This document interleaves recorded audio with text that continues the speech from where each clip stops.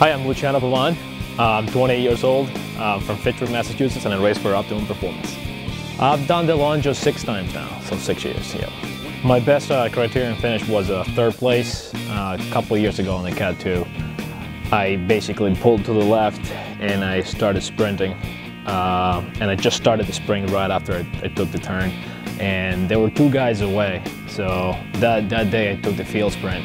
Felt, it felt really good. Uh, my, my dad uh, follows me, uh, you know, pretty much every every race I, I do. So uh, it was it was good to have him there, and he, he used to be a cyclist as well. I think that uh, it was more emotional, even to have him there and and uh, and enjoy that that that result with him. My my my first first big result here at Fitchburg was a, a green jersey uh, a number of years ago when I was a Cat 4. The entire town was uh, was supporting me, and uh, it, it, it, felt really good. Uh, the last the last day on Main Street, I was I was with the with the uh, with the green jersey, and people, some some friends of mine made some signs, and uh, we we had a, a, a great great day that day. I'm hoping to, to go for the win.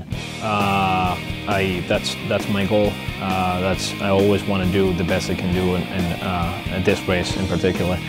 It's it's a lot of competition with the Cat 2, and I've, I've been always a, a, working man or having to like go to school, work, and and cycle. And cycle cycling has never been just my one focus, unfortunately, or or fortunately. So I'm, I'm gonna give it the best the best I I can. Yeah. My name is Luciano Pavan.